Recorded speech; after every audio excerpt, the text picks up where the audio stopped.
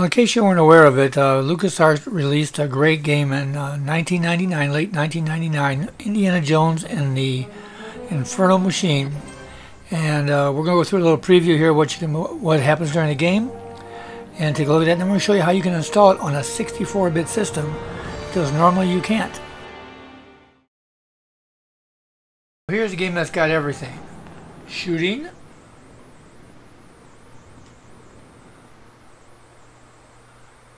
rafting,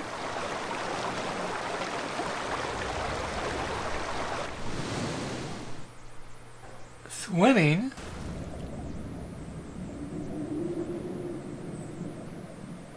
and of course,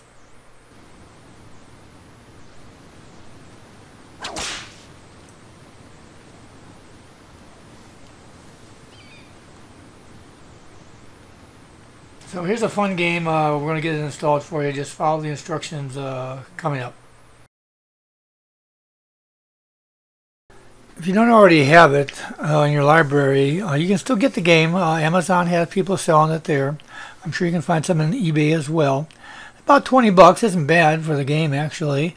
Uh, you gotta be careful you order one for the PC and not for the Nintendo or whatever. This has by far the best graphics of any of the versions. Um, and don't forget, if you get this, it's a copy protected CD, so you can't copy it. Uh, you can only uh, install it, but we're going to help you get through the install procedures now. So here, uh, here I am, I have my CD in, it comes up and is recognized by the PC. You'll see it down here, disk 1. If I go ahead and try and run it here, uh, it's just not going to be able to do it. You're going to get an error message.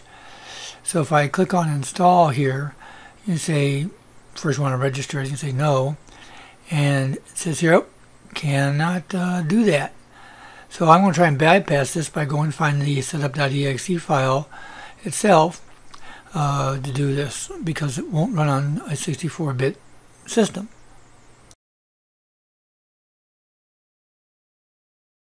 Now, big shout out to the gentleman in uh, Germany who wrote this installer uh, that you can download over here and it will actually take your installation disk and use it. Let me go ahead and save this here to my hard drive first. Um, and I've already done it of course you can see here I've created a directory for that but I'm going to save this uh, there and that's going to run the installer uh, to go ahead and install the program from the disk uh, which is really a, a, great now this thing is uh, pretty slow and by the way, the link to this website is in the description of this video. So when you run the installer, you're going to get a little box that pops up here and tells you uh, a few things up here and everything. And it's going to have your install path down here, which is a, default, which I'm going to change. There's also a, um, a indicator that shows that your DVD is loaded. Sure enough, it is. Uh, so that's good. So I'm going to go ahead and browse to a different place to go ahead and install mine underneath my game drive, which is my uh, 3 gigabyte drive. And I've already created a directory for it. So there it is. So I can click on start and it starts to install. Now let me make this clear. It's maybe because it's a copy protected disk. It may be because this program is not well written as far as speed goes. It takes a long time, like over a half an hour maybe, to go ahead and do all this. Uh, so you have to be patient here. It doesn't look like it's moving, uh, but it is. But because I'm paranoid, uh, and I couldn't wait for this because it wasn't moving at all, I actually would go out here to my drive, right click, check properties and say, oh look, it's got X number of megabytes, 100 and whatever megabytes. Uh, and then I check two minutes later and see uh, that it got along a little further. So it proved to me that something was going on, albeit very slow. Now the game is a two disc set, so it, when it got to the end of the first disc, it was asking for the second one. So I went ahead and installed it. And uh, I click on OK here to, uh, uh, once the CD was recognized in the slot, I uh, clicked on OK.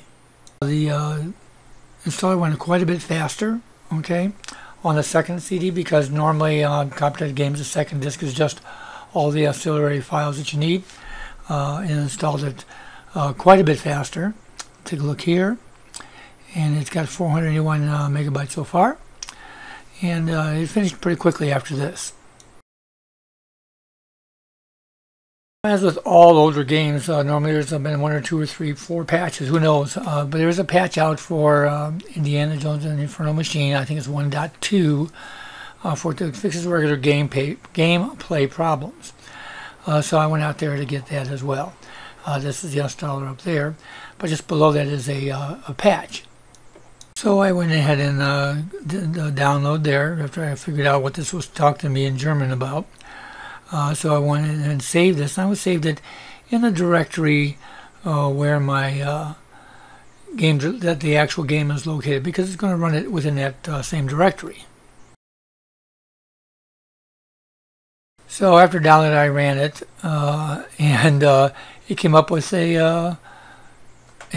we come up with the instructions, which again, I went out to Bing Translator to see what the heck this guy was talking about to make sure I was following the instructions correctly.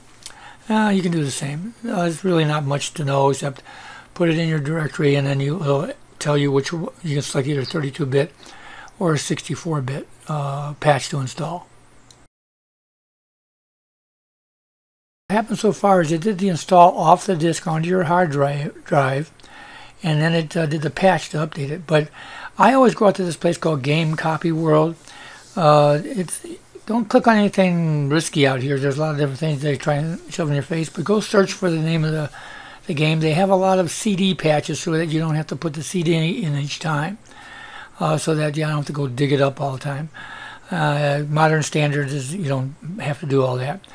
And so I go ahead and do that. So I'm going to go here and look for the uh, patch for English. And I'm going to go to the one, there's several different versions usually, like the 1.1 update, a 1.2 update. There's English, French, you know, all these different updates and everything. Uh, I'm going to go ahead and do this, download the uh, patch number two. And you do, do that here by clicking on the small little icon uh, right there and do the download. Now in CD we'll be a little careful here because you're going to get some spam trying to be installed. So when this you click on this, it pops up. It goes to a advertising page, let's call it, and tries to uh, get you to install something. So let's do that now. It says here mirror one, that's fine. Don't click on any other crap or anything. Uh, you notice the name of the file is right there, ND5 no CD. But it goes first to this AdFly and it says download it. You don't download that. That's not what you're looking for. You have to wait over in the top right and uh, wait for it to come up. It'll eventually go, the silver warning will eventually go away and say skip ad, and that's what you want to click on, say skip ad. You do not want to download this other stuff. Then choose a mirror. And you'll notice when I click on mirror number one, I get the normal download information here, and let's go ahead and save it uh, there. It's safe to go ahead and do that. So now I'm going to go ahead and put that in the same directory uh, on my game drive. Like I said earlier, what game copy was do, they, they you download it, you extract it, and you put this file to replace the one in your in your uh, directory that normally runs your game. Now I usually name the exe uh, that was there uh, already to old or something else so that I, I can have the original in case something goes wrong.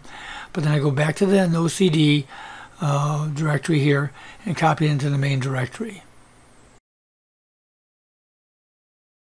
Now that we're installed and have all the patches, we're going to go ahead and run the uh, run the game. But you notice here there's a section down here that says options. And of course you can't register online anymore. But if I do click sound options, you notice it, does, it crashes without saying anything. So I'm going to go ahead and run it again and see if I can do some other options before I get into the game. And I go to options and I go here to advanced and display options. And again, it doesn't work either. So let's show you how to get past that. So first we're going to go ahead and start the game. Okay. Now if we say start the game, it'll fire up fine, hopefully. Unless it says no disk in, ignore that if you have got the patch in or just click past it. So the first time in, you might see your game look something like this. Uh, very narrow and all that. But we're going to go ahead and show you how to uh, go ahead and set up your settings uh, to be completely widescreen. Now in this next part, uh, you're going to see it actually already in widescreen because I've already made the adjustments. Uh, but we're going to go through this intro. The only thing uh, bad about this is that you sometimes you have to sit through the demo. Hit the escape key here to get, get past all of this, uh, this stuff so you can get right to the game. So once you're in the game, uh, you can hit the escape key to access all the all your stuff, your treasures and all this other stuff, your stuff. But you can go here, over here and uh, besides saving games, you can go up here to gameplay options and here's your control options and there's your display options. So you hit that and this little pop-up comes up and you can change this to the resolution. I find 1280 by 1024 worked good with my 1920 by uh, whatever uh, monitor. So uh, you can maybe start with that one. And also I changed it from 64-bit to 32-bit. And I also went over here to advanced and clicked on that. And by the way, because our systems are so much faster than 1999, you can change these to be like crazy fast uh, and they'll be just fine. Uh, so you can have those uh, settings in your monitor refresh and you should see it like I see it here. Also sound settings, a few other things that you can investigate yourself. One more setup thing uh, to look at is how to uh, your controller. Right now it's set up to use the arrow keys to move around, so we're going to change that. We'll go all the way over here again and go over here to where you see the one more control options. Hit enter it has a whole bunch of default ones already done, and plus enabling mouse. By the way, turn off enabling mouse. It just gets in your way. Um, but you can create your own by clicking on New Control Set. I created one that I called OGG. And uh, let's go to Edit It to show you. You can't edit the default ones, but I changed it from the arrow keys to the modern uh, assignments of WSAD. And you do that by highlighting something over there. Come over to the uh, uh, any one of these, by the way, can be modified. Uh, but all you do is you select one, and then you click on the Edit Assignment button in order to uh, go ahead and uh, edit that. So there you have it, uh, Indiana Jones and the Infernal Machine. Uh, I'm sure you're going to get hours of enjoyment out of it. I so far have just been playing it a couple days again. It's been years. I've forgotten most of everything there was to do. And that's why I want to give a shout out now. And on YouTube, uh, helped me get through uh, the game. I've forgotten how to get to do same, some things and uh, figure out some puzzles. Uh, he's only got about uh, 30, 40 views, so uh, go take a look and give him a like. So there you have it, the Indiana Jones and the Infernal Machine on a 64-bit modern system. Hope you enjoy it.